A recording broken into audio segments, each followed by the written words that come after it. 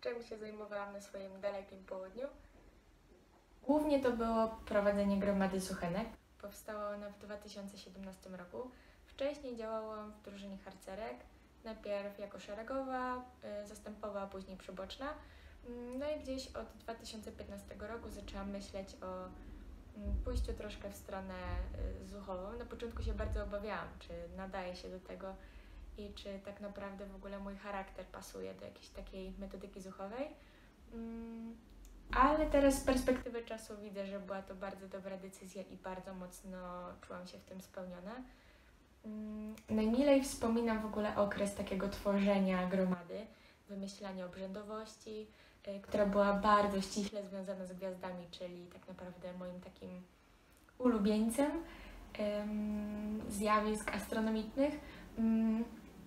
Było tego bardzo dużo i bardzo mile wspominam też czas y, naszych cykli zuchowych w pierwszym roku, ponieważ krążyły one wokół legend polskich. Wyglądało to tak, że przechodziliśmy troszkę z jednej legendy do drugiej, one się trochę ze sobą zazębiały, postacie powracały po jakimś czasie prosząc nas o pomoc albo dając cenne wskazówki, więc naprawdę tamten rok to był najlepszy rok w prowadzeniu gromady. Mm, Później było coraz trudniej, była klasa maturalna i tak wyszło, ale tak naprawdę myślę, że to był bardzo dobry czas, mimo że ta gromada nie działała bardzo długo, to myślę, że to było bardzo potrzebne naszemu środowisku w Legnicy Mm, i przyniosło to bardzo duże owoce i teraz um, spoglądam po prostu z uśmiechem na spotykane były zuchenki na ulicy.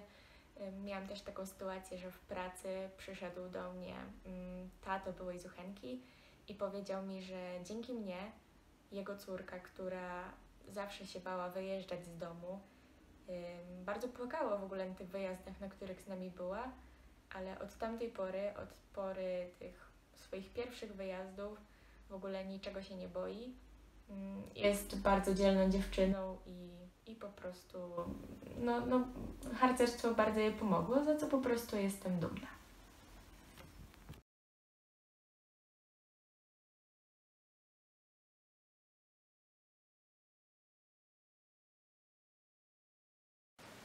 Ze względu na to, kiedy dołączyłeś do środowiska, można powiedzieć, że jesteś takim kadrowym rodzynkiem. Mimo to silnie zakorzeniłeś się w środowisku i jesteś jego ważną częścią. Jak to się stało, że dołączyłeś do harcerstwa? Ile miałeś wtedy lat? Co się w nim pochłonęło i sprawiło, że postanowiłeś w nim pozostać, a później zostać instruktorem? E, moja historia e, z ZHR-em rozpoczęła się, właściwie moja przygoda z ZHR-em rozpoczęła się w trzeciej klasie, w mojej trzeciej klasie gimnazjum. Miałem wtedy około 15 czy tam 16 lat. E, o, właściwie o tym całym harcerstwie usłyszałem od e, mojego kolegi Adama e, Wawrzyniaka e, na którymś z obiadów, na który wpadał e, do mnie po zbiórce ministrantów. Znaliśmy, znali- znaliśmy się jeszcze właściwie od dzieciaka, bo razem byliśmy od początku ministrantami u nas w parafii w Przecławiu. I tak któregoś dnia, kiedy Adam opowiadał sobie tutaj przy naszym obiedzie, jakie to różne wspomnienia ma z obozów, jakie to nieraz fajne wyjazdy miał, biwaki, postanowiłem też mieć takie przygody i właśnie e, przyszedłem e, z nim na pierwszą zbiórkę drużyny wędrowników Ognia. E, w ten sam dzień właściwie ta drużyna powstała. Yy, I yy, jakoś tak się w tym yy, zakorzeniłem dosyć ostro, yy, jak widać, i już yy, w tym samym roku pojechałem na pierwszy obóz w Międzylesiu. Yy, Tam dostałem swój, swój krzyż harcerski razem z Oskarem, który też razem ze mną przyszedł do ZHR-u. Razem zostaliśmy właśnie wędrownikami. I potem miałem wielkie parcie na e, zdobywanie stopni. Było to coś właściwie nowego. E, nigdy nie byłem harcerzem, mm, nigdy nie byłem też zuchem, więc e, mogłem tego doświadczyć dopiero teraz, niestety dopiero w takim wieku, wieku wędrowniczym. Więc miałem bardzo duże parcie właśnie na stopnie, szybko zrobiłem ćwika. Mm, Potem dłu- dłużej zajęło mi zdobycie harcerza Orlego. Ale zaraz po, zaraz, zaraz zostaniu ćwikiem mm, przyszedłem do gromady. W sumie nie wiedzieć dlaczego. Jakoś tak stwierdziłem, że a, zostanę przybocznym i byłem potem przez rok przybocznym. Potem zostałem, zostałem drużynowym w tym roku, e, wrze- w październiku. E, Objąłem właśnie tą funkcję po Kacprze. Mm, Także moje drogie zuchy, jeżeli to oglądacie, to cześć wszystkim. E, I słuchajcie. Instruktorem zostałem tak właściwie. Tak o. Mm, na początku nie wiedziałem żadnego właściwie takiego, takiego e, takiej motywacji, poza właśnie zrobieniem tego stopnia, żeby też być ta, taki jak y, są inni. Ale później to się właśnie przerodziło w taką chęć e, właśnie prowadzenia własnej drużyny, e, zostania właśnie e, instruktorem, zostania e, wodzem, w tym wypadku właśnie e, gromady zuchów. I no w sumie to wszystko.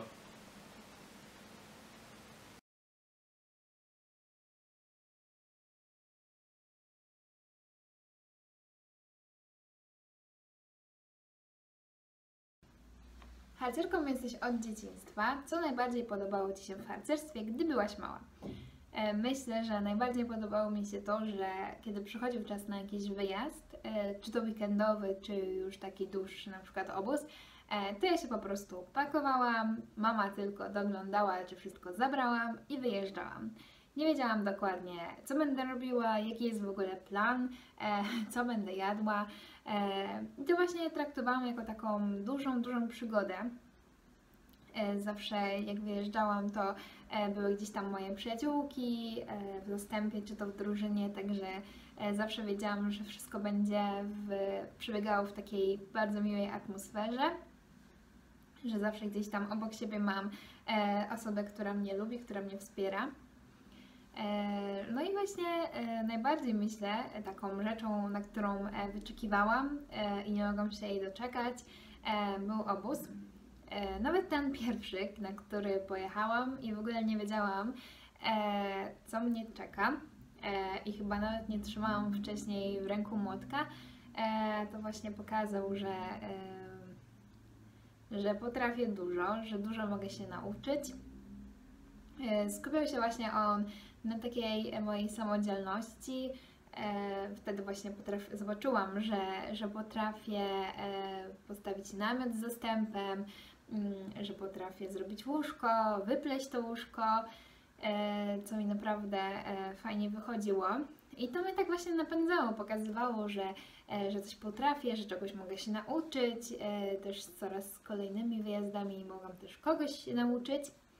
E, więc to zawsze było dla mnie taką dużą, dużą satysfakcją. E, czy też właśnie wędrówki, e, które często były całodniowe i dość, dosyć męczące, pokazywały mi, że daję radę i zawsze na koniec, no czułam taką, na koniec tej wędrówki czułam taką dumę z siebie, że udało mi się przejść, że w miarę nie narzekałam, że już jestem tutaj, teraz czas na odpoczynek. Myślę, że to mi się właśnie tak w tym całym harcerstwie podobało, że e, cały czas się czegoś uczyłam, e, że jeżeli się czegoś nauczyłam, to widziałam tego efekt i to mnie tak właśnie dalej napędzało, e, napędzało do działania, e, motywowało właśnie do e, robienia sprawności.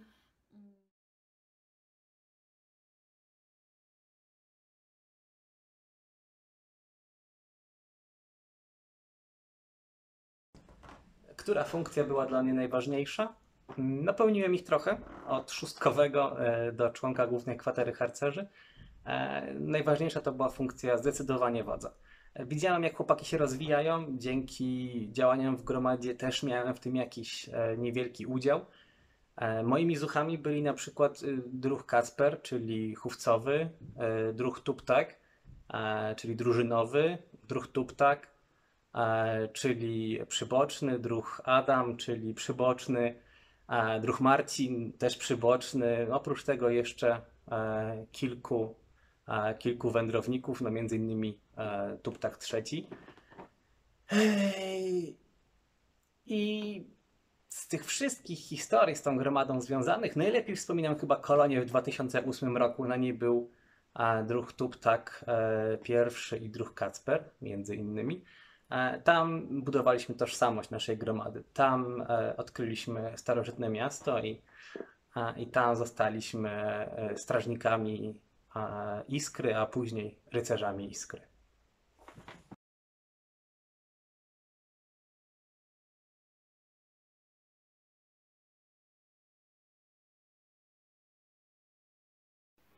Twoja harcerska historia różni się trochę od klasycznej. Do harcerstwa dołączyłeś bowiem nie jako dziesięciolatek, a już starszy chłopak. Jak to się stało, że do nas dołączyłeś? Co sprawiło, że chciałeś zostać w tym środowisku? I drugie pytanie. Wszyscy wiemy, że jesteś bacznym obserwatorem i zawsze znajdujesz czas na to, aby poświęcić go innym i ich wysłuchać. Jakie były Twoje obserwacje i spostrzeżenia w momencie dołączenia do Watry? Cóż, te dwa pytania trochę się ze sobą łączą, ponieważ właśnie te obserwacje spowodowały, że postanowiłem zostać w tym środowisku i przez to jestem tu, gdzie jestem i mogę Wam o tym opowiadać. Początków mojej harcerskiej drogi doszukiwałbym się w pierwszej gimnazjum, gdy w wieku 13 lat poznałem Adama Wawrzyniaka, mojego przyjaciela, który jest obecnie ze mną w kadrze w Orlętach, jest tam przybocznym. I wszystko zaczęło się od jego historii. Często jak wracałem ze szkoły, spotykałem go w autobusie i podczas zwykłych rozmów co u siebie wspominał o jakichś zbiórkach i biwakach. Oczywiście najlepsze historie zdarzały się we wrześniu i w październiku, bo były to historie poobozowe. A wszyscy dobrze wiemy, ile rzeczy dzieje się na obozach. I jak dziwne albo przynajmniej niezrozumiałe mogą być dla osób spoza kultury harcerskiej. Tak też dla mnie wszystkie te historie o zwiadach, o harcach, o podchodzeniu nocnym. Jak dla 15-14 latka były to naprawdę fascynujące historie. Wtedy też postan- y, zacząłem się zastanawiać, czy może by nie dołączyć do tego harcerstwa, nie spróbować, bo wszystkie te jakieś aktywności wydawały się dla mnie rozwijające, bo dla każdego znajdowało się coś dobrego. A poza tym jakoś zająłbym sobie wolny czas, którego miałem w gimnazjum aż nadmiar. I tak w 2017 y, na 16 urodzinach Adama, tuż przed rozpoczęciem roku szkolnego, powiedziałem mu, że wstępuję do ZHR-u i kiedy jest najbliższa zbiórka. Najbliższą zbiórką okazała się zbiórka szczepu 23 września tegoż roku. I od razu zostałem przyjęty do nowo utworzonej drużyny wędrowników Ogień, więc moja historia harcerska jest ściśle z nią związana. A jako, że była to zbiórka szczepu, to byli tam nie tylko harcerze i wędrownicy, ale również cały żeński pion, od zuchenek przez harcerki do wędrowniczek, które oczywiście wtedy mogłem rozpoznawać tylko po kolorze munduru. Chłopacy zieloni, dziewczyny szare. Kolory chust w ogóle nie pytajcie mnie o to. Ale spośród całego przekroju tej młodzieży, która tam się znajdowała, utkwiła mi w pamięci pewna scena, a mianowicie trochę wyższych, trochę bardziej opanowanych, spoglądających od czasu do czasu na wszystkie harcerki i harcerzy, ludzi w kolorowych sznurach zwisających im z ramienia, którzy na późniejszym apelu czytali długie rozkazy, organizowali grę o wyjaśnienie jej zasady. Jak później się okazało, to był mój pierwszy kontakt z kadrą naszego szczepu, który wywarł na mnie dosyć duże wrażenie, ponieważ zaimponowała mi ich organizacja, zaimponowała mi ich poczucie odpowiedzialności za wszystkich tutaj zgromadzonych uczestników szczepu. I wtedy zaświtała mi mała myśl, czy może by też za jakieś 5-6 lat nie wstąpić do tej kadry, nie zająć się nimi, yy, moimi przyszłymi podopiecznymi, jakoś by nie brać udziału w tym, co oni robią teraz. Jak widać, przyszło to trochę szybciej, ale czuję, że powoli staję się takim instruktorem, którego właśnie widziałem ponad te 3 lata temu. I powolutku, powolutku zdaje się, że spełnia się to, co sobie wtedy pomyślałem.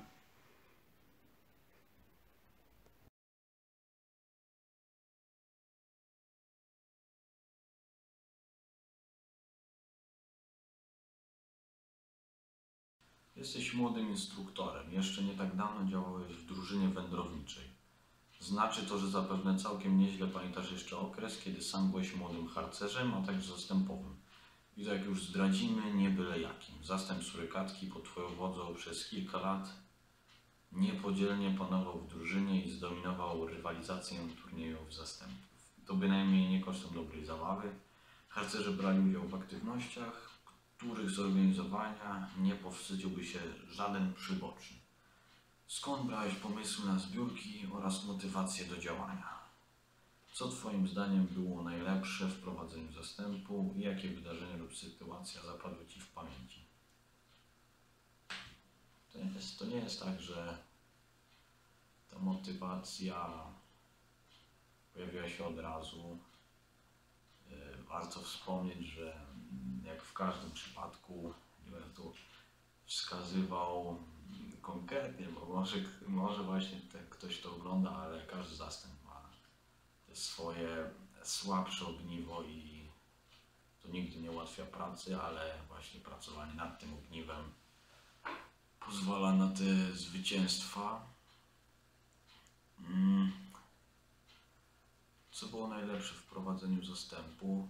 Mm, najlepsze było to, jak po prostu widziałem, chłopakom się podoba to, co, to, co dla nich wymyślam, to, co robimy. Pomysły na zbiórki brałem zewsząd.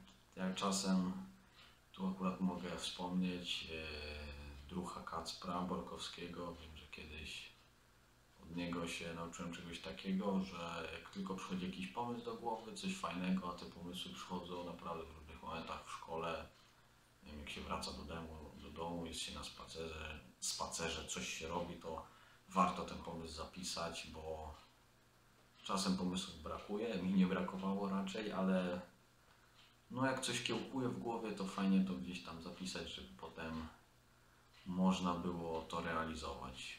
Ja bardzo dużo przyjemność czerpałem z tego, co organizowałem dla mojego zastępu. Im to się bardzo podobało i myślę, że to mnie właśnie napędzało.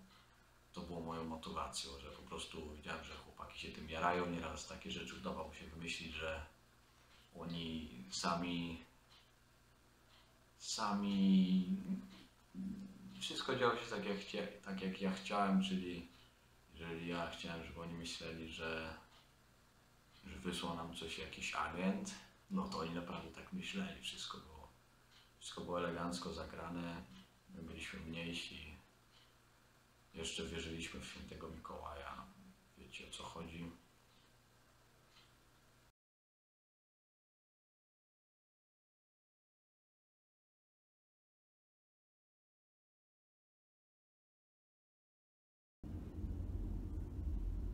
Tak w sumie, zanim poznałam, że tak powiem, osobiście y, niektóre osoby z ósemek, kojarzyłam już mniej więcej niektóre jednostki, głównie sumę sił y, z, z takich zdjęć, które widziałam kiedyś ze zlotu Złotych Koniczynek, bodajże we Wrocławiu albo w jakimś innym mieście. Bardzo spodobały mi się te chusty i byłam nimi mega podjarana, bo w tamtym momencie chciałam zakładać zastęp tęcza. Yy, A o płomieniu gdzieś tam też wcześniej słyszałam.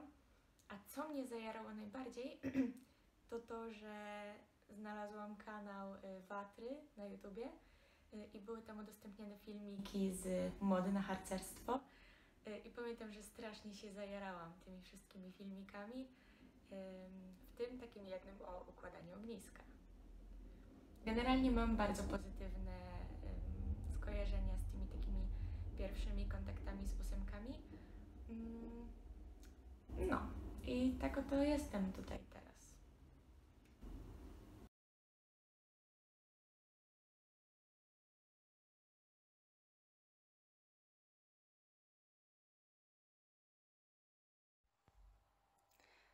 Czuwaj, zostałam zapytana o to, y, jak wyglądał mój rozwój harcerski y, i jak wygląda to takie przeżycie przejścia przez wszystkie etapy rozwoju harcerskiego w ramach jednej jednostki, ponieważ od prawie 9 lat należę do ósmej szczecińskiej drużyny harcerek Suma Sił, no i to jest kawałek czasu. E, I zostałam też zapytana o to, jak ta mała Ala na początku swojej harcerskiej drogi zareagowałaby na to, że obecnie działam jako drużynowa. No i zaczynając od tego drugiego pytania, e, myślę, że ta mała Ala potraktowałaby takie stwierdzenie jako dosyć nieśmieszny żart, ponieważ dołączając do sumy sił jako jedenastolatka, e, myślę, że byłam dosyć wycofana i nieśmiała. Bardzo taka niepewna w kontaktach towarzyskich. Z własnej woli nie podjęłabym się żadnego zadania czy funkcji, która wymaga wyjścia do ludzi albo postawienia się gdzieś w centrum zainteresowania, wydawania rozkazów. Zupełnie nie. E, a dołączyłam do sumy sił e, w styczniu, w lutym 2012 roku. Pogotowie. E, po tym jak przez rok działałam już jako zuchenka w ósmej szczecińskiej gromadzie zuchenek Strażniczki Astry. No i po rozwiązaniu tej gromady chciałam da działać dalej, też mocno zachęcona przez swoją rodzinę, e, która jest gdzieś tam bardzo harcerska i dalej działa w szczepie, e, czy to moja mama, czy mój młodszy brat. no więc dołączyłam do sumy sił. E, I na początku, chociaż ja byłam bardzo wycofana i raczej obserwowałam niż angażowałam się w zadania, to od samego początku bardzo podziwiałam swoją zastępową, Ulę Stawarz, e, która była dla mnie taką trochę super bohaterką, e, wzorem do naśladowania, była taka nieustraszona, zorganizowana, jednocześnie empatyczna. Niesamowicie chciałam być tak jak ona, więc gdzieś tam poznając techniki harcerskie, ucząc się, rozwijając, później składając przyrzeczenie, cały czas z tyłu głowy miałam, że, że chciałabym tak jak ona działać. E, no i dlatego, kiedy pojawiła się taka okazja, w 2014 roku założyłam swój zastęp dmuchawce e, i przez dwa lata miałam okazję być zastępową. To był dla mnie bardzo ważny czas i dalej uważam, że funkcja zastępowej albo zastępowego to najfajniejsza funkcja możliwa w ZHR-ze. E, no i jest to po prostu niesamowita przygoda i świetna sprawa. E, no i po dwóch latach prowadzenia zastępu zostałam przyboczną, jednocześnie dołączając do ósmej szczecińskiej drużyny wędrowniczek Phoenix, więc działałam jako przyboczna w sumie sił oraz jako wędrowniczka w Feniksie. E, I to też był dobry czas.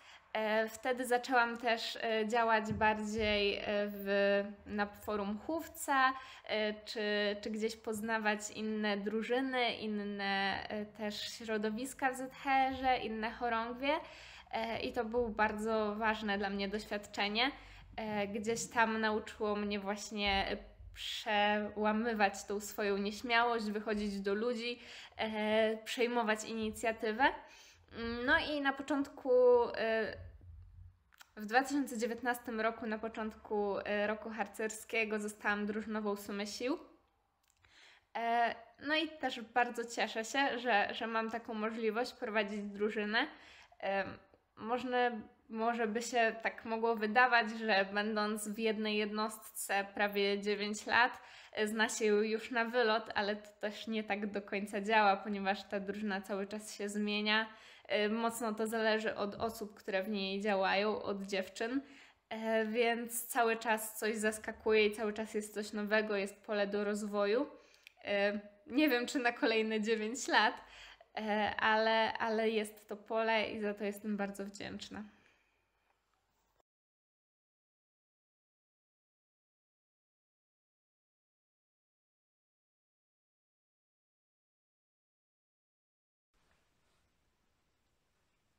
Myślę, że moim najlepszym wspomnieniem związanym z gromadą e, jest kolonia. Dokładnie mówię o najlepszej kolonii ever czyli kolonii w Dobiegniewie w 2017 roku. Mm, wtedy to e, odzyskaliśmy wszystkie artefakty razem z zuchami. Mm, artefakty te chwilę wcześniej e, czarnoksiężnik Ranwen nam skradł i skrył w krainie baśni. dowiedzieliśmy się, że w Dobiegniewie otworzył się portal do tej krainy baśni, otworzył go trąbacz, żeby nam e, pomóc odzyskać artefakty. I stamtąd to właśnie, e, kiedy tam dotarliśmy do tego Dobiegniewa, e, dowiedzieliśmy się, że z portalu do krainy baśni wychodzą bajki, dokładnie postacie z bajek. I te bajki zostały poprzekręcane przez Ranwena. Ranwen zmusił je do, do pilnowania e, skarbu, czyli tych artefaktów ukrytych w krainie baśni. My, e, bajka po bajce, krok po kroku, odkręcaliśmy te bajki, żeby były e, tak, jak rzeczywiście zostały napisane, e, i tym samym zdobywaliśmy po kawałku mapy, e, mapy wierszowej, tak zwanej. E, I kiedy już zdobyliśmy cały wiersz, całą mapę, dowiedzieliśmy się, gdzie zostały ukryte te e, artefakty. To była najlepsza kolonia, najlepsze moje wspomnienie, dlatego też, że e, zuchy bardzo się w nią zaangażowały. Chłopacy mm, kilka nocy z rzędu e, wartowali przy portalu, żeby też e, nikt niebezpieczny nie wyszedł z tej, z tej krainy baśni, ale też, żeby móc szybko pomóc jakiejś postaci z bajek, żeby, żeby nie została sama w nocy. Mm, No i też na przykład pomogliśmy w ten sposób chłopcu z zapałkami. E, Tak właśnie została ta bajka zmieniona. Mm, Też e, dlatego to była najlepsza kolonia, najlepsze moje wspomnienie, dlatego że stanowiliśmy z kadrą świetnie zgrany zespół. Razem z Tymonem Królikowskim i Janem Sobolem e, poradziliśmy sobie na tej kolonii świetnie. Myślę, że to była naprawdę najlepsza kolonia ever.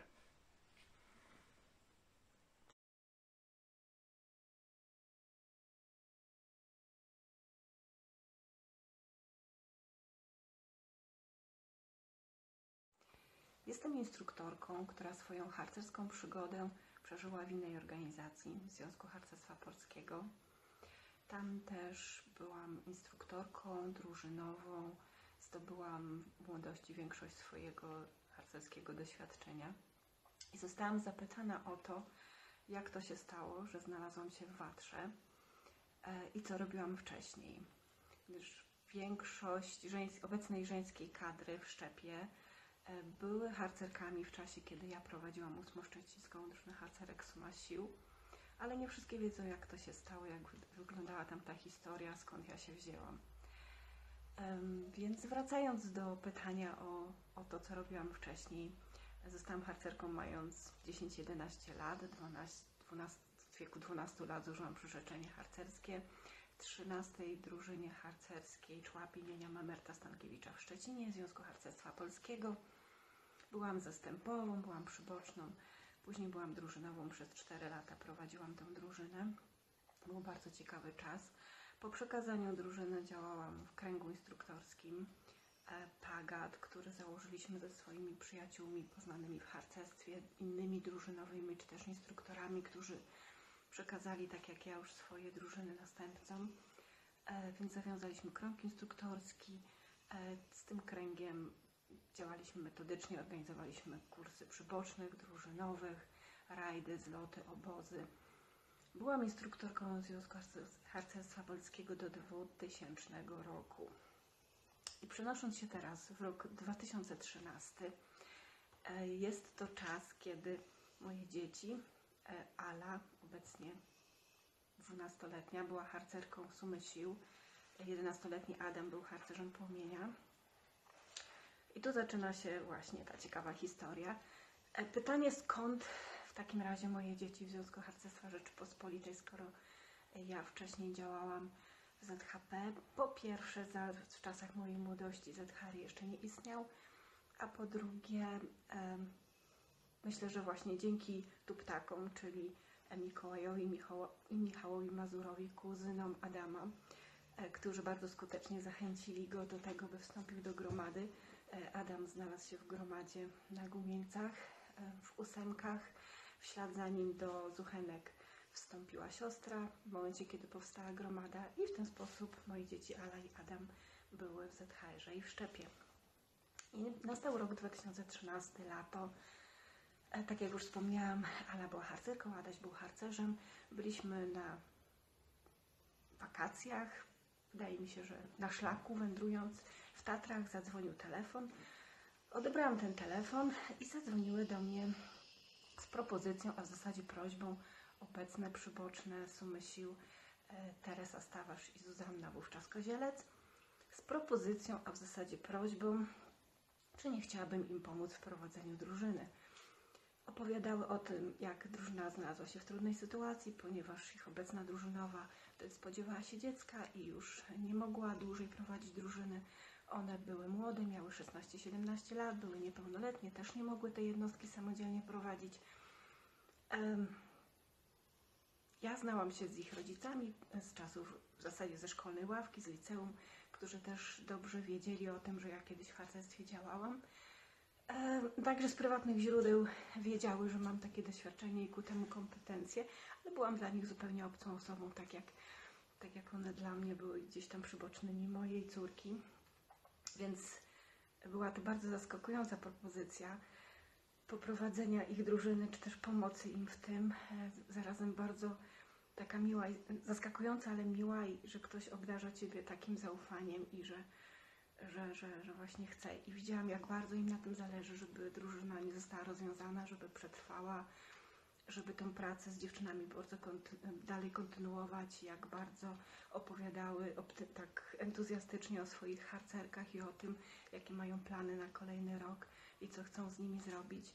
Więc ja z wielką ochotą tą propozycję przyjęłam, E, co oznaczało dla mnie wejście w środowisko, w, które nikogo, w którym nikogo nie znam, e, pojechanie na komisję instruktorską, złożenie e, jeszcze raz przyrzeczenia harcerskiego i zobowiązania instruktorskiego i wejście, tak jak już wspomniałam, w, w, zupełnie coś nowego. Początkowo e, dziewczyny miały organizować wszystko, ja miałam być drużynową taką opiekunką na papierze trochę, która będzie jeździć z nimi na, na biwaki, na rajdy, na obóz, po to, żeby pełnoletnia osoba była. Z czasem jednak tak dobrze mi się z nimi współpracowało i tak dobry był to i owocny czas, że, że sama z siebie się w wiele rzeczy angażowałam i byłam drużynową nie tylko na papierze. Prowadziłam tę drużynę dwa lata, przekazałam ją Teresie Stawarz, która później kolejne kilka lat, kilka lat prowadziła tę drużynę. Wspominam to doświadczenie jako bardzo, bardzo ciekawe, bardzo dobre e, i bardzo też rozwijające dla mnie. E, Po przekazaniu drużyny w 2015 roku e, nie odeszłam ze środowiska. Ta więź zawiązana z dziewczynami była na tyle silna, że chciałam pozostać i dalej jestem w szczepie. Działam jako instruktorka w Watrze do dziś.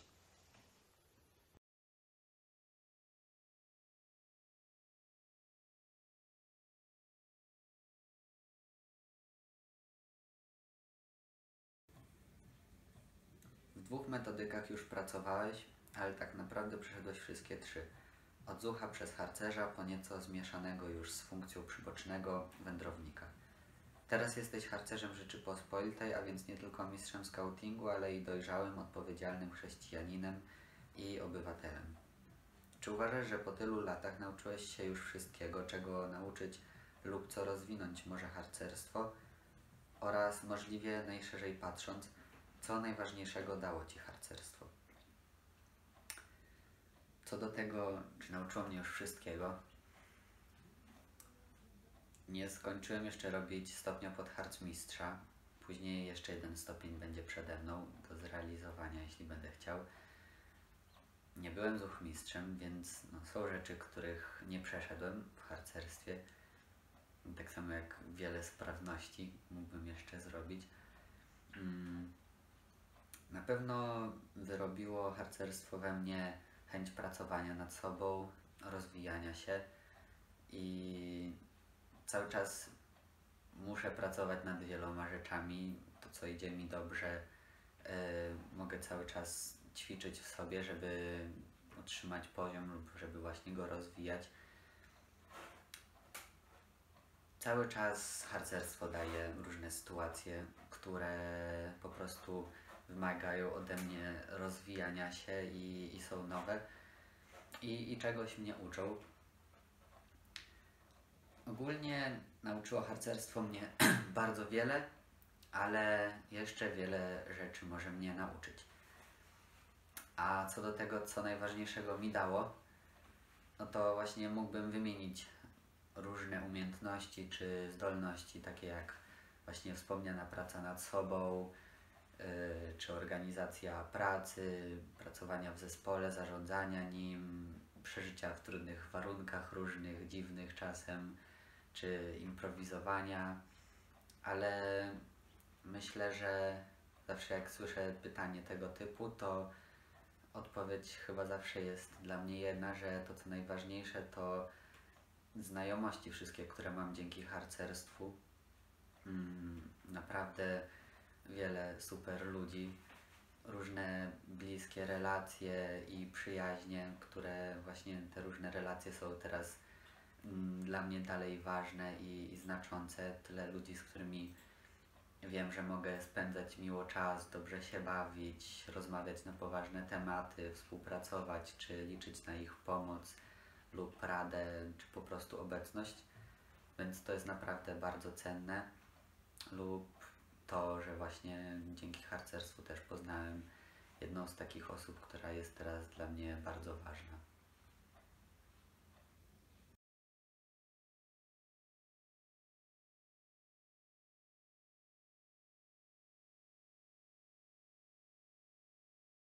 Masz w Szczecinie, a studia w Warszawie. Ciężko jest nieraz pogodzić taką odległość. Jak sobie radzisz z prowadzeniem jej już kolejny rok?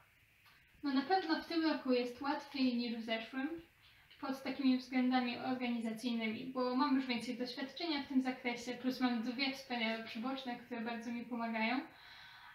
Ale no to jest prawda, nie jest łatwo prowadzić drużynę z innego miasta, ale jest to możliwe i Głównym kluczem do tego wszystkiego jest tak naprawdę organizacja czasu i metody z tym związane, bo problemem bardzo często nie jest to, jak daleko mamy, tylko jak organizujemy to wszystko razem. I w momencie, w którym wypracujemy te metody organizowania czasu, przygotowywania pewnych rzeczy, komunikacji, jakichś folderów, dysków itd., to tak naprawdę jest już dużo łatwiej i jest to możliwe. Jest to praca trudna, ale jest to praca z pewnością pełna takiej wdzięczności też od samych harcerek, że, że jestem z nimi, nawet kiedy jest trochę trudniej, bo jestem w innym mieście. Ale mm, nie mówię, że odradzam, nie mówię, że zalecam takie rozwiązanie. Myślę, że warto je przemyśleć przed podjęciem się czegoś takiego, ale nie jest to niemożliwe.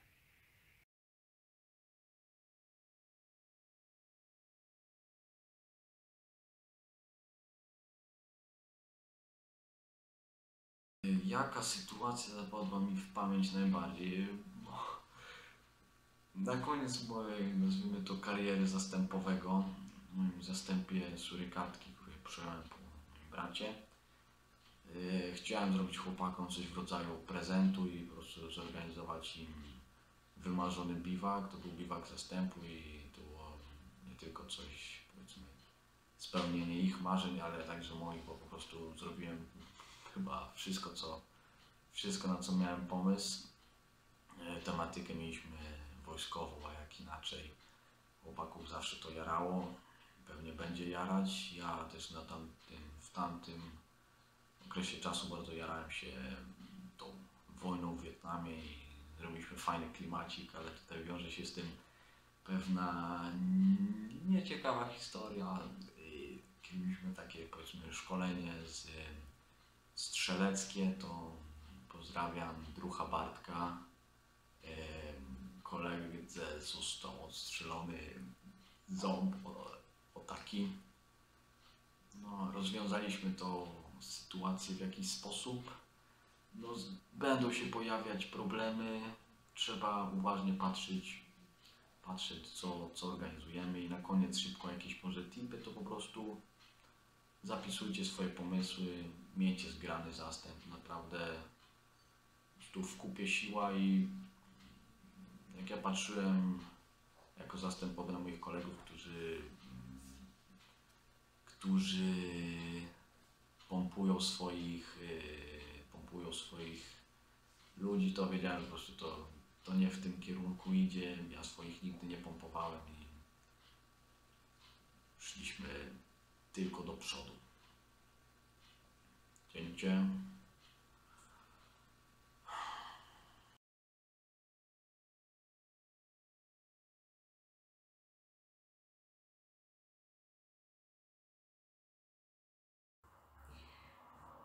Jeszcze do niedawna prowadziłaś Feniks, naszą drużynę wędrowniczek, którą sama założyłaś. Przez tę jednostkę zdążyło już przejść wiele wędrowniczek, w tym wszystkie obecne drużynowe oraz większość przybocznych. Znamy doskonale obecne wędrowniczki, lecz pewnie część harcerek i harcerzy nie miała okazji poznać się z pierwszym składem drużyny. Czy chciałabyś nam opowiedzieć o początkach jednostki? Czy masz z tego czasu jakieś wspomnienie, które jest dla Ciebie szczególnie ważne? Myślę, że szczególnie ważny był obóz w Chrapowie, na którym e, padł pomysł, żeby założyć drużynę wędrowniczek i na którym podjęłam decyzję, że e, zostanę drużynową Feniksa. E, nieco później, we wrześniu, odbyło się powołanie drużyny, które było takim, wydaje mi się, dosyć niezwykłym wydarzeniem, bo odbyło się o wschodzie słońca w Puszczy Bukowej 16 września 2016 roku. Było nas wtedy 12, w tym e, między innymi obecne drużynowe e, Rusałek, Świtu i Sumy Sił, ale też na przykład Zuzia Nowotarska, która jest dalej harcerką, czy Oliwia Tyszka, która była nią do, e, do ostatnich wakacji. I w podobnym składzie pojechałyśmy na nasz pierwszy biwak do Poznania, który zaczął się od tego, że jeżeli dobrze pamiętam, to Oliwia Konopska zadzwoniła do mnie i powiedziała, że wsiadły do złego pociągu i nie mają za co kupić biletów, żeby dojechać do Poznania. E, Trochę się zastanawiałam, e, jak to jest możliwe, e, ale okazało się, że to był taki żarcik i takiego różnego rodzaju pranki przewijały się jeszcze później przez nasze wspólne funkcjonowanie. Na tym wyjeździe zadziało się dużo różnych rzeczy, które wówczas pozwoliło nam się do siebie zbliżyć i wspominam ten biwak jako dobry wyjazd.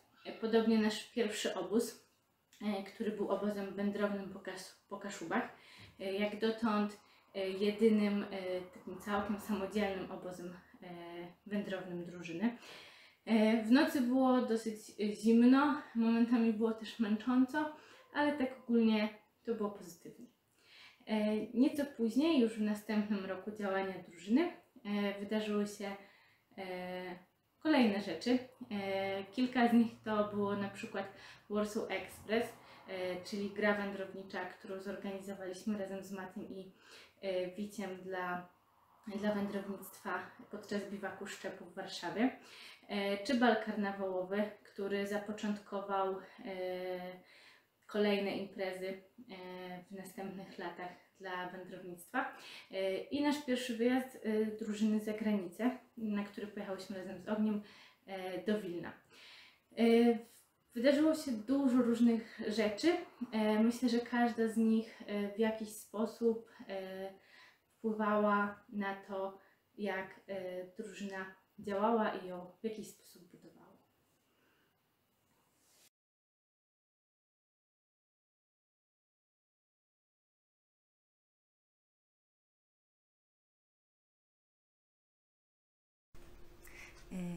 Do sumy sił y, należałam, to była moja pierwsza drużyna, do której należałam i w sumie ostatnia.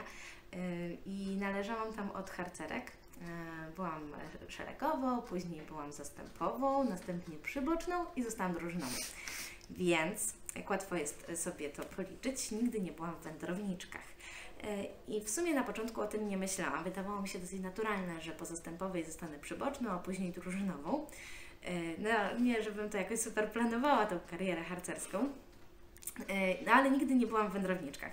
I o tym, że mogłabym w nich być, dowiedziałam się będąc przyboczną, w sumie wiedząc już, że będę drużynową sumy sił, jak jedna z instruktorek opowiadała, jak prowadziła drużynę wędrowniczek i jakie super rzeczy mm, robiły w tych wędrowniczkach. I wtedy sobie pomyślałam, straciłam coś bardzo fajnego. Nie miałam możliwości doświadczyć czegoś super. E, I to tak we mnie trochę pracowało. Zostałam drużynową sumy sił i postanowiłam, że to, czego nie robiłam w wędrowniczkach, e, czyli tą przygodę, to co opowiadała ta druhna, m, która, która właśnie nam opowiadała o swojej drużynie, postanowiłam, że będę się starała realizować, no w sumie już jako instruktorka, jako drużynowa. E, Więc wymyślałam różne, wymyślałam różne wyzwania dla siebie, jak wędrowanie po górach, jak wyjazdy, jak spędzanie czasu ze znajomymi, ale takie zorganizowane też przeze mnie. I to, co tak myślę, że wędrownictwo bardzo mocno daje e, każdemu człowiekowi, jeżeli tylko chce tego spróbować, to jest lepsze poznanie samego siebie, poznanie swoich e, możliwości, poznanie granicy swojej wytrzymałości, ale także to jest taki czas, kiedy można zbudować bardzo fajne relacje z osobami w tym samym albo zbliżonym wieku. I ja to zaczęłam robić. Ja to zaczęłam robić po prostu trochę później. zaczęłam to robić jako drużynowa, zaczęłam to robić jako instruktorka i nie żałuję tego, że mogłam to robić w innym czasie. Szkoda mi, że nie mogłam być w wędrowniczkach, ale myślę, że w jakiś sposób udało mi się to później sobie zrekompensować. A teraz na tyle, na ile mogę, staram się uczestniczyć w różnych wydarzeniach wędrowniczych. Byłam na obozie w zeszłym roku, e, wybrałam się z wędrowniczkami na rowery do Trzebieży e, we wrześniu. E, Pojechałyśmy na musical do Łodzi. Mm, biorę udział w kawiarenkach, więc się staram e, chociaż trochę czerpać z tego, z czego nie mogłam czerpać wcześniej. A wędrownictwo i bycie wędrowniczką i wędrownikiem to polecam każdemu bardzo mocno, bo uważam, że to jest super sprawa. Czuwaj!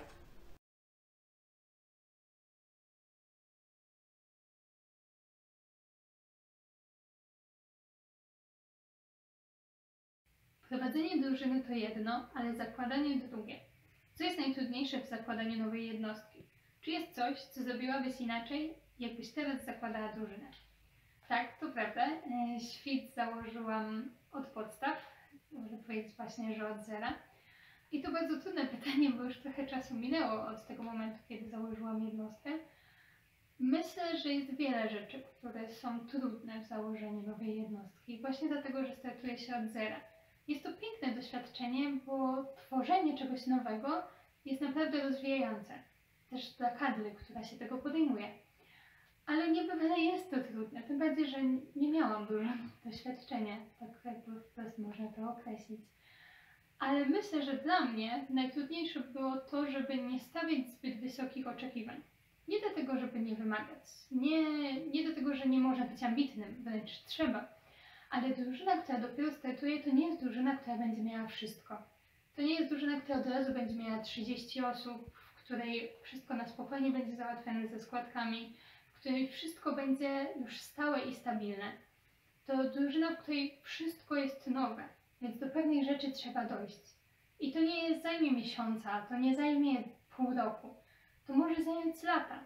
I to jest taki klucz dla tego pierwszego drużynowego, przynajmniej patrzę na to tak teraz, że celem, jaki ja sobie wyznaczyłam, jaki uważam, że powinien sobie wyznaczyć pierwszy drużynowy, pierwsza drużynowa, jest to, żeby zasiać pewne ziarno. Bo te cele, do których chcemy dojść, trzeba je sobie wyznaczyć na przyszłość, na 3 lata, na 4, na 5. I może być tak, że już za te 5 lat, zresztą prawdopodobnie tak będzie, nie będziemy już prowadzić tej jednostki. Więc my teraz inwestujemy nasz czas, inwestujemy siebie w to, żeby w przyszłości inni drużynowi mogli zebrać owoce. Bo po co oni mają startować od zera? Dlaczego oni jakiś projekt mają teraz zacząć i czekać 4 lata, aż się spełni?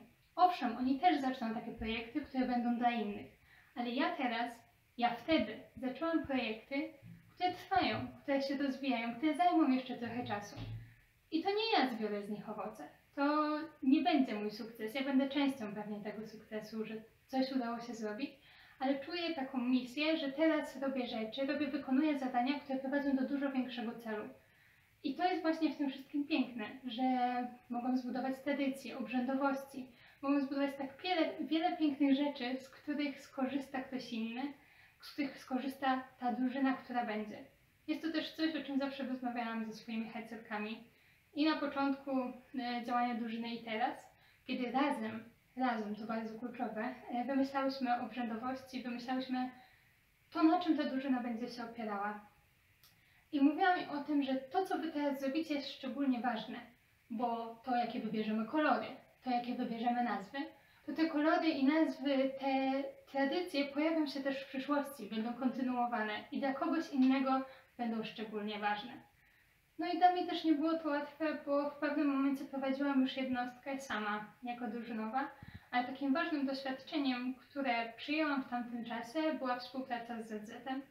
Przez to, że nie miałam przybocznych, które obecnie są w mojej jednostce i co strasznie mnie cieszy, bo bardzo mi pomaga to w prowadzeniu jednostki na odległość, kiedy są takie potrzeby, których nie da się załatwić od zera w innym mieście. Nie jest to łatwe, ale da się prowadzić tak jednostkę i nie żałuję tego, że tak jest. Ale wracając do tego ZZ-u. W momencie, w którym nie było przybocznych, to ta relacja z zastępowymi była jeszcze ważniejsza. Zawsze jest ważna, ale w tym momencie, kiedy nie było żadnych pośredników, my tworzyłyśmy wszystko razem. Ja z tymi zastępowymi miałam naprawdę bliską relację i mam ją do teraz. I wiem, że w momencie, w którym ma się dobry ZZ, który jest w stanie ze sobą pracować, który jest w stanie ze sobą góry przenosić, to inne rzeczy też uda się zrobić.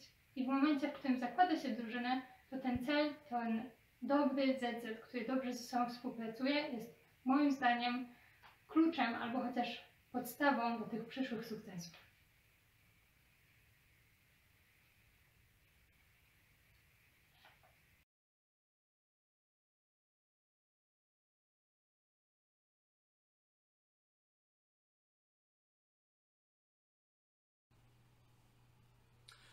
Kiedy jeszcze byliśmy zastępowymi, już ładne kilka lat temu, prowadził je zastęp Niedźwiedzie. Czy teraz jako drużynowy wykorzystujesz swoje doświadczenie z tego czasu, gdy sam jeszcze nie byłeś w kadrze płomienia? Jak najbardziej. E, Wiele rzeczy, których nauczyłem się e, w tamtym okresie, e, przydaje mi się do teraz. Niektórych z tych rzeczy do teraz się uczę, do teraz ćwiczę. Choćby przygotowywanie gier terenowych to jest coś, czego w jakimś tam stopniu zaczynają się uczyć już zastępowi. M, Później kontynuują naukę przyboczni e, i dalej się to daje drużynowym e, i jeszcze wyższym funkcjom osobom, które przygotowują gry dla chówców, e, obwodów itd.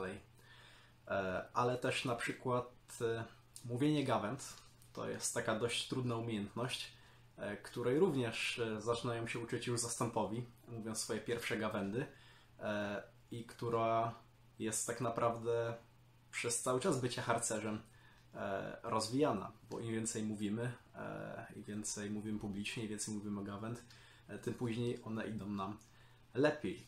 Ale też rozszerzyłbym trochę to pytanie o to, że tak naprawdę w ogóle w tym okresie, kiedy jest się, można powiedzieć, małym harcerzem, uczy się więcej przydatnych później rzeczy niż mogłoby się pomyśleć. E, Bo chociażby techniki harcerskie to jest coś, co właśnie uczysz się będąc harcerzem, e, a później potrzebujesz tego, jak zostajesz e, przybocznym czy drużynowym, żeby uczyć tego innych. Nikt nie jest mistrzem we wszystkim, no ale jak już zostajesz przybocznym, to zwykle jest raczej mało czasu na nadrabianie takich rzeczy, bo musisz się właśnie doszkolić w takich rzeczach jak właśnie te robienie gier, zbiórek i tym podobnych.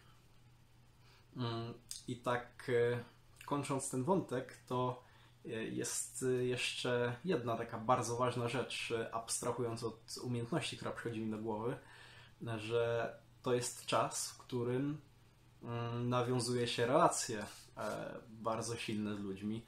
I tak naprawdę ludzie, z którymi teraz pracuję, czyli zarówno druh Tuptak, druh Kacper, druh Staszek, no i oczywiście druh Mati, to osoby, z którymi e, działałem w ZZ e, jednym i z którymi pracuję do teraz, ale także e, druh Mikołaj i druh Paweł, mimo że wszyscy we trzech byliśmy e, w innych zastępach, mm, to poznaliśmy się e, już lata temu e, i z czasem się zakumplowaliśmy. Bardzo dobrze dogadujemy się do teraz e, i dzięki temu ta współpraca mm, jest taka fajna jak jest e, i nie jest dla nas uciążliwa. E, Natomiast mm, historia, którą chciałbym Wam opowiedzieć, e, wydarzyła się w 2013 roku, mm, czyli właśnie kiedy zostawałem zastępowym na turnieju drużyn leśnych naszej chorągwi. E, Tak jak wspomniałem w filmiku, mm, dotyczy ona gotowania obiadu. Kiedy kadra zwołała nas, żeby ogłosić zadanie, już widzieliśmy, że coś się święci. E, Tak się trochę śmiali, uśmiechali się, patrzyli po sobie, e, więc wiedzieliśmy, że zaraz coś się wydarzy. E, Ktoś z kadry pokazał nam worek, taki zwykły lniany czy jutowy, e, i powiedział, że w worku jest coś, z czego musimy zrobić sobie obiad. No i nie byłoby w tym nic dziwnego, gdyby nie to, że po chwili ten worek zaczął się ruszać. E, Kiedy ten członek kadry go otworzył, wybiegły z niego żywe kury, które wpierw musieliśmy dogonić, złapać. E, Na szczęście wstępnym oporządzeniem siekierą zajął się druh broda. E, My musieliśmy skończyć robotę z takim bezgłowym, opierzonym kurczakiem. No i przyznaję, że był to obiad może nie najsmaczniejszy w moim życiu, ale na pewno taki, z którego byłem najbardziej dumny. E, A najlepszą część tej historii poznałem po latach, e, kiedy to, jak już byłem w kadrze, ktoś opowiedział mi, e, że tak naprawdę kadra turnieju kupowała po prostu kury od rolnika. I dopiero kiedy jechali samochodem i zobaczyli, że ten worek dziwnie się rusza, to okazało się, że faktycznie kupili no niezłego kota w worku, którego sami się nie spodziewali. Po więcej historii zapraszam oczywiście do książki Szczepu.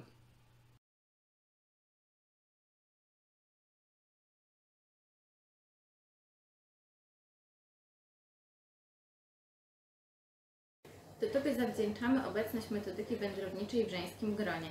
Jakie są Twoim zdaniem najważniejsze elementy, z których korzystać może każda drużynowa, nie tylko ta, która prowadzi wędrowniczki?